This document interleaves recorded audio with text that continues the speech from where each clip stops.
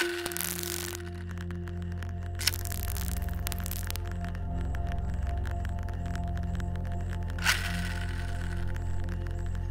we speak of invisibility, we render it visible through our words. We further speak of it as though it were a monolithic, homogeneous thing. But the first probing question to ask would be Is there more than one invisibility? Try to imagine it land it if not a certain form locked within recognizable outlines, then at least an atmospheric field. Whose invisibility is it? What remains withdrawn from sight? A burglar waiting in the shadows? Political and economic backroom deals? Hidden cameras and digital surveillance? Radiation? Climate change? A virus? Some kinds of invisibility are heavy with suspense, concentrated in a single moment of time. Others are subtly weighing on us for long periods. Some are provisional. Others are highly resistant to the possibility of emerging into a field of vision. Some only need to be exposed in the media or by shining a small flashlight to be brought out of their retreat.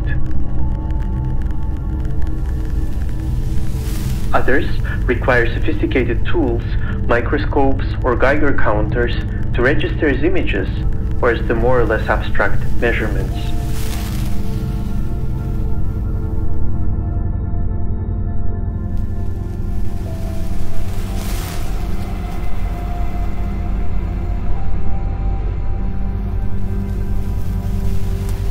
When after the 1986 disaster,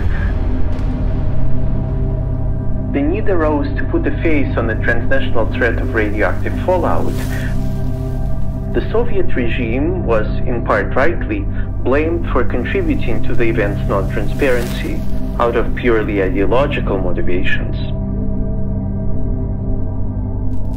With the suppression of initial medical reports on the novel coronavirus by the Chinese state apparatus in the end of 2019 and beginning of 2020, a similar situation developed. Mainstream media in the West called it China's Chernobyl moment. But when the epidemic spread to Europe and the Americas, the virus was figured otherwise, as an invisible enemy. It is tempting, to be sure, to assuage our anxieties and to placate our fears of the unknown and the unseen by giving them a definite figuration, by tying them to a this, something that can be pointed out. The figure of an enemy usually does the trick, as it binds negative affect, hatred, and animosity to itself it also helps consolidate a community of those fighting together against the threat it represents.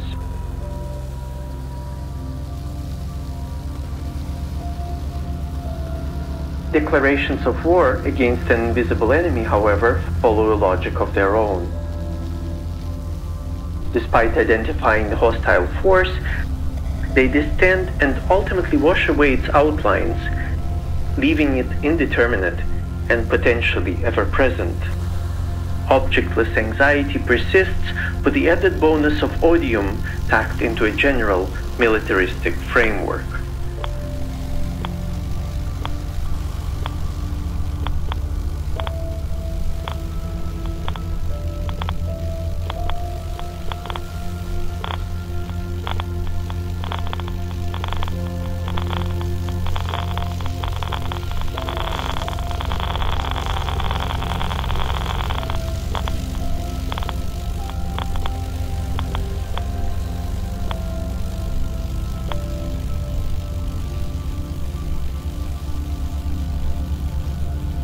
In this anniversary month of the nuclear disaster, when the pandemic is supposedly at its peak in Europe, forest fires have been ravaging Chernobyl's exclusion zone.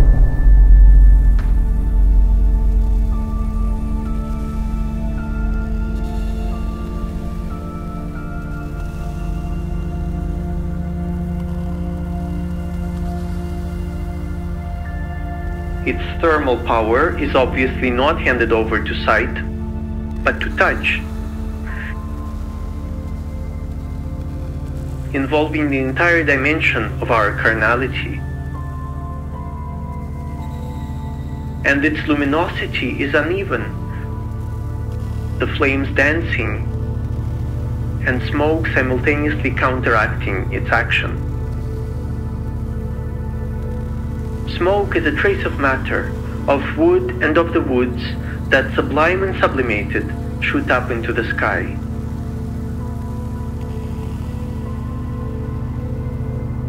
Around Chernobyl, this elevated matter carries radioactive materials along. Invisibly, obscurely. Fire spreads as though by contagion. Its tongue slick dry vegetal stuff that so touched joins the blaze. A spark jumps from one area to another, disregarding limits, boundaries, borders.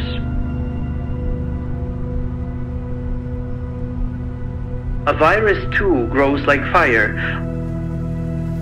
with particularly contagious varieties a viral spark reproduces rapidly, moving from host to host at the lightest of contacts.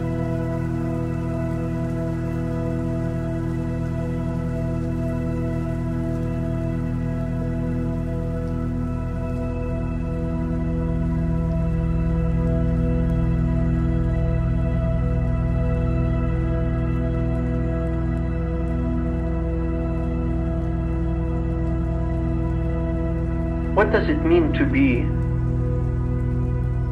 or to find myself,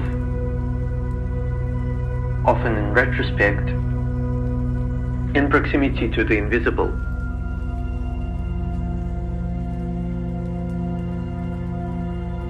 Sometimes invisibility is so close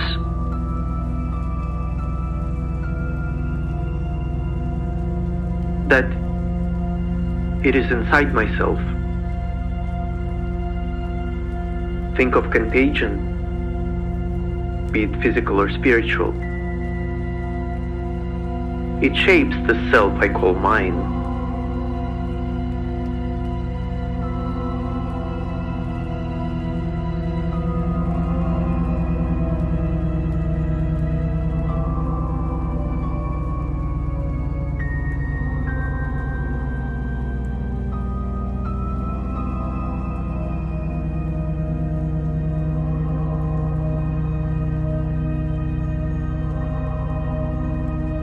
There is a sense that you are being watched.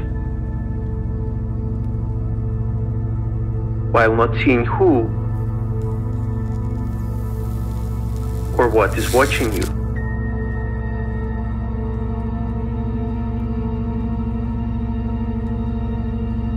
Becoming the object of a gaze you cannot return, of a sense you are unable to sense is a consequence of exposure and the premonition of your becoming object, a body, living or dead, living and dead. It is learning to live in the face of death, and hence learning to think.